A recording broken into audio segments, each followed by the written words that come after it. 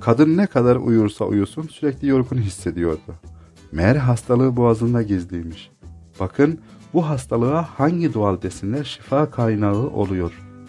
Guatr, çoğunlukla Türkiye'de sık olarak rastlanan hastalıklar arasında bulunmakta. Bu rahatsızlık tiroid bezlerinin çalışmasından kaynaklanan bir hormon hastalığıdır.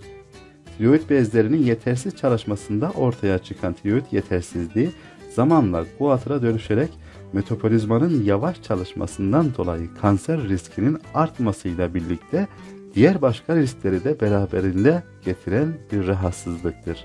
Başka rahatsızlıklarda olduğu gibi guatr rahatsızlığında da doktor kontrolü ve gözetimi oldukça önemlidir.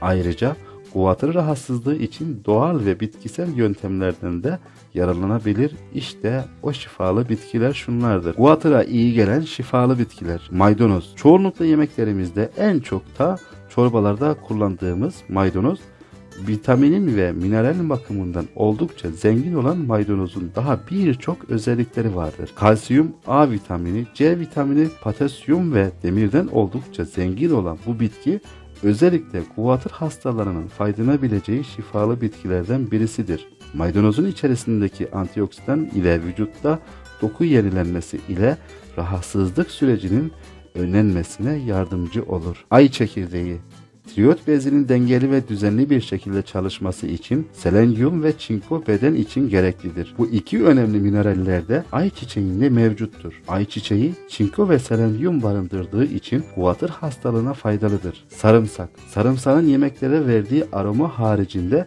insan vücudu için sayılamayacak kadar da çok faydası bulunmakta. Bu sebeple de sarımsağı yemeklerde mutlaka konulması gereken bir gıdadır. Guatr hastalığında ise bu şifalı besinin tiroid bezini büyümesi ile boğazda oluşan şişliğin giderilmesinde oldukça etkili olduğu bilinmekte. Zeytinyağı Omega 3 yağlarından oldukça zengin olan ve savunma sistemini güçlendiren bu yağlar enfeksiyonu azaltarak en aza indirilmesiyle birlikte guatr hastalığına faydalı olan E vitamini bulunduran zeytinyağı guatr hastalığı olan kişiler için yemeklerinde kullanılmaları gereken yağdır. Deniz yoğusunu insanlarda oluşan guatr şayet iyot yetersizliğinden kaynaklanıyorsa bundan dolayı iyot zengin olan deniz yoğusunu gibi bitkiler tiroid bezinden düzgün bir biçimde çalışan guatr hastalığını önler ve metabolizmayı hızlandırıcı özelliklerinden dolayı deniz yoğusunu selülit ve obezite de başarıyla uygulanmaktadır.